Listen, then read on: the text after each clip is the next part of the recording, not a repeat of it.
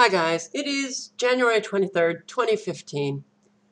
I don't know if it's your experience, but it certainly is my experience that not only reading these headlines and seeing that, you know, they're attached to some agenda that mainstream media and our government is promoting, implementing at rather breakneck speed, virtually on a daily basis now, I see or hear something in my own community that shoots a red flag up in my brain that tells me, okay, what I'm seeing or hearing is attached to Agenda 21 or the Climate Action Plan or getting everybody vaccinated or developing these little critters who are good little global citizens for the New World Order. It is remarkable how rapid these agendas are being rolled out now. And we're going to see a rapidity that's going to be head spinning this year with every agenda. And this one, this video is about these vaccines and the push to get everybody vaccinated. And it will be mandated soon. I had a conversation with a friend of mine who's a teacher, and she's receiving all of these emails from the school nurse about children contracting viruses in other schools. But uh, to spare you the details of the conversation, I essentially said this is about getting all children mandated, which schools, I mean, getting um, children vaccinated, which schools are now doing, and the teachers. It will be mandated soon that teachers will have to get at least the flu shot. I have no doubt about that. I may be wrong. I hope I am. But that's coming down the pipe.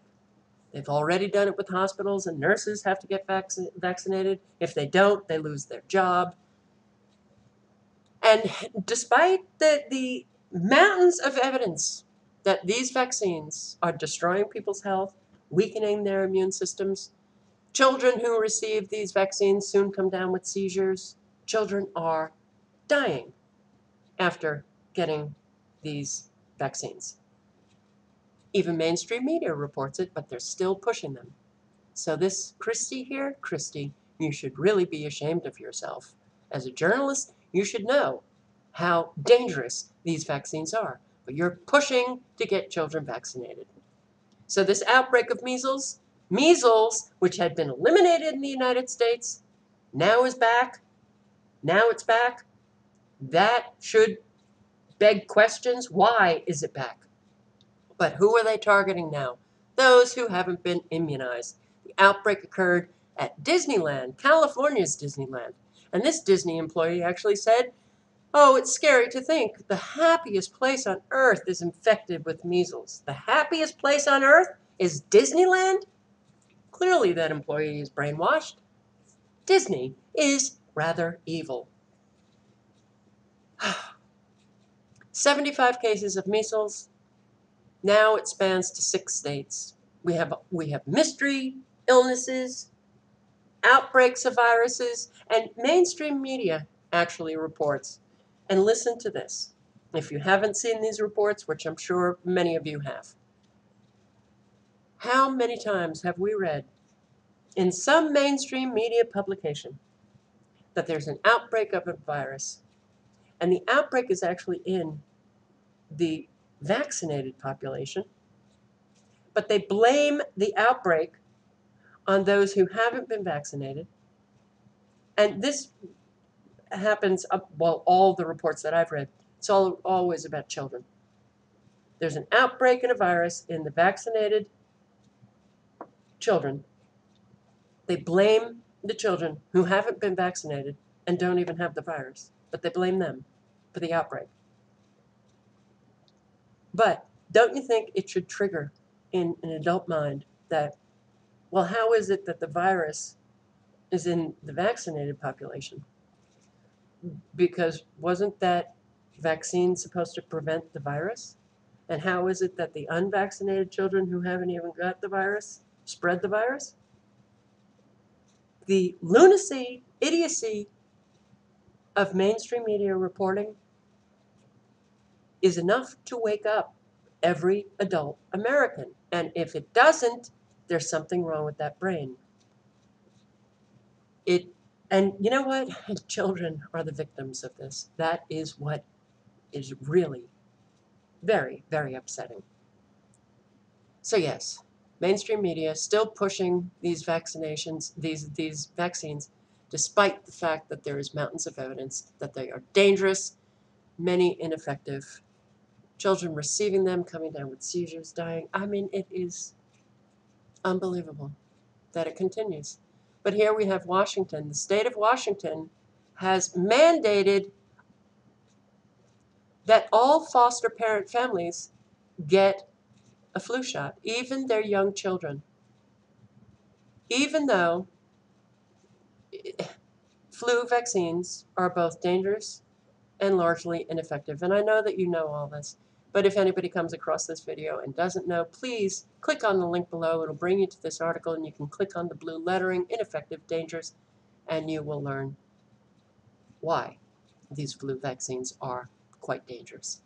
But it's not only about getting people vaccinated, certainly not with CPS. There are many agendas that unfold in even just as you read one news story, you can, you know, it, it's like a game where you're trying to figure out, all right, what are the agendas here?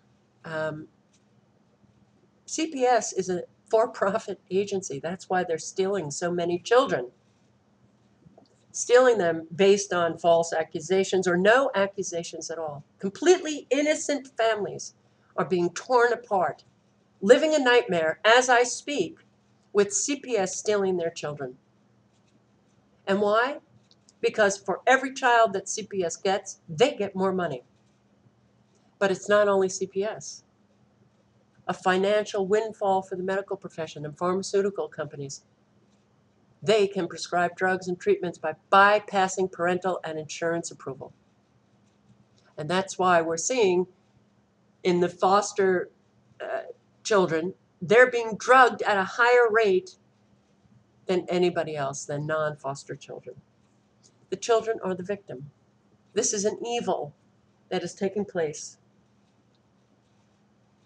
with children. They need to be protected. And that's why I do these videos. And that's why I keep saying circulate the information because parents need to know. We still have American parents who are clueless about these vaccines. And any parent who refuses to engage in adult conversation about how dangerous and ineffective these vaccines are, I'm sorry, they should not be a parent at all. If they're just going with the official lie and bringing their children to get vaccinated, and then suddenly their child falls sick, dies, has seizures, that parent needs to be held responsible. This is not okay this has been going on forever. And I'm not talking about those parents who really have kind of lived an experience where they haven't been reached at all. And there are some. I'm talking about the parents who refuse, who refuse to do any research and just subject their children to these vaccines that are destroying their health and may be fatal, tragically fatal. It's very upsetting to me. The children are the worst victims in our society. They need to be protected. All right, guys, please circulate this information. And yes, it, it's mainstream media never stops. And unfortunately, I don't think that we have a way to pull any of this back. It's just going to roll on out. And what is important as it rolls on out is that we reach those people who still are clueless so that they can protect themselves and protect their families. And as well, that we all protect ourselves from the rollout as best we can. All right, guys, have a great day and hope you're all well.